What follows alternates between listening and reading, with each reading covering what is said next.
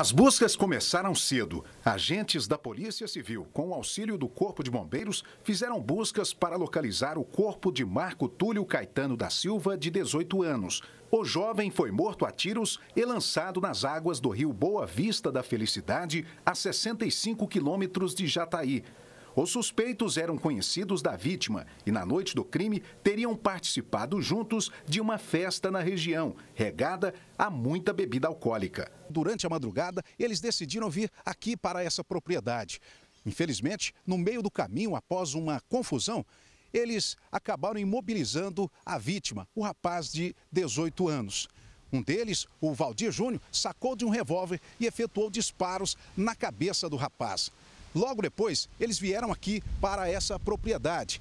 E aqui eles conversaram a respeito do que fariam do corpo do rapaz, do corpo da vítima. Aqui, nesse, nesse local, foi onde eles relatam que o corpo foi aberto, foi retirado todos os órgãos do interior eh, dessa vítima, colocado pedra, foi costurado o corpo e o corpo arremessado ao rio. Depois de descartar o corpo de Marco Túlio, sem apresentar remorso, os três amigos voltaram para a fazenda e foram dormir.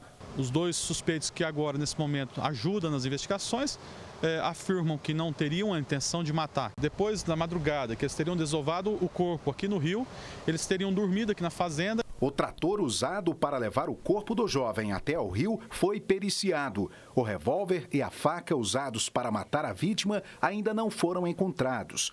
O bárbaro crime foi desvendado depois que a família da vítima registrou na delegacia o seu desaparecimento.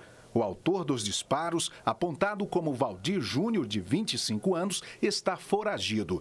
O filho do dono da fazenda, Yad Hassan, e o funcionário Eudisley de Souza confessaram a participação na ocultação do cadáver. Eles serão indiciados. De alguma forma, eles teriam, teriam tido uma participação no crime. Agora, a ocultação do cadáver, é, com certeza, eles tiveram uma participação direta.